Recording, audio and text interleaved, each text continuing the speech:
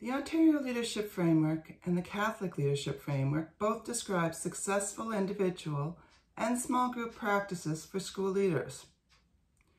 The OLF also includes personal leadership resources, including cognitive, social, and psychological resources. The frameworks provide leaders with a clear picture of what effective leadership looks like.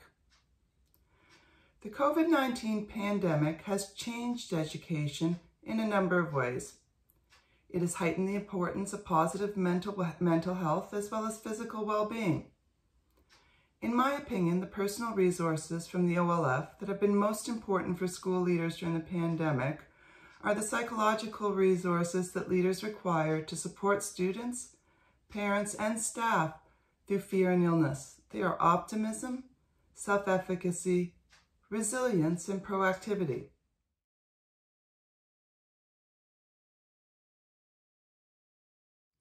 I believe that self-efficacy and resilience are the personal resources that have served me as a principal the most.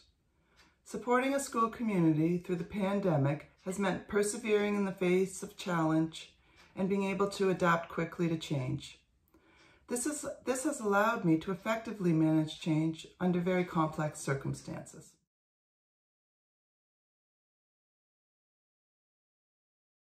The pandemic has changed how we learn, the school setting, and how we connect with one another.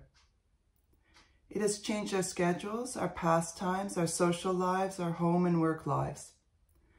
It has created terrific uncertainty, anxiety, and fear.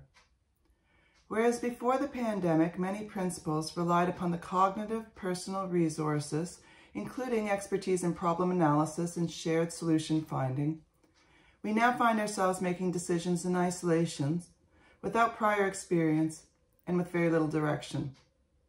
In this shifting environment, it is increasingly, increasingly important for us to believe in our own ability to perform a task or achieve a goal. We also need to see and act upon potential within challenging situations and support our staff, students, and parents who are taking responsible risks in very difficult circumstances.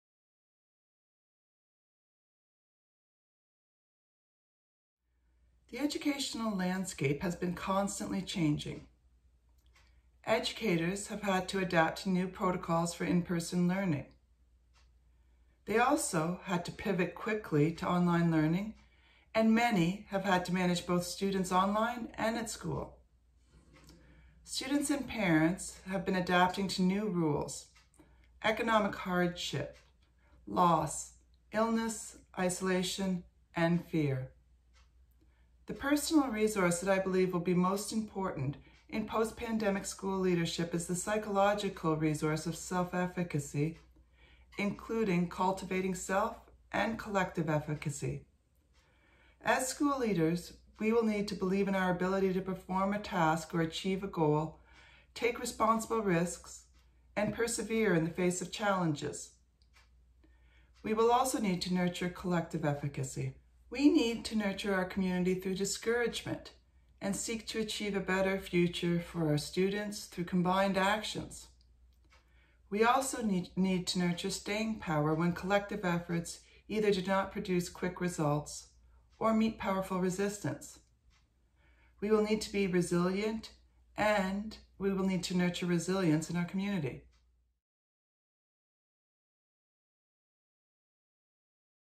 Emotion regulation. That's the ability to stay calm under pressure. Impulse control. This helps us to tolerate ambiguity and make thoughtful decisions. Optimism. Optimism balanced with realism gives us hope for the future and control over the direction in our lives. Causal analysis. Causal analysis is our ability to identify the actual causes of our problems and to assess them accurately. And most importantly, empathy. Empathy represents our ability to read other people's cues and to understand their psychological and emotional states.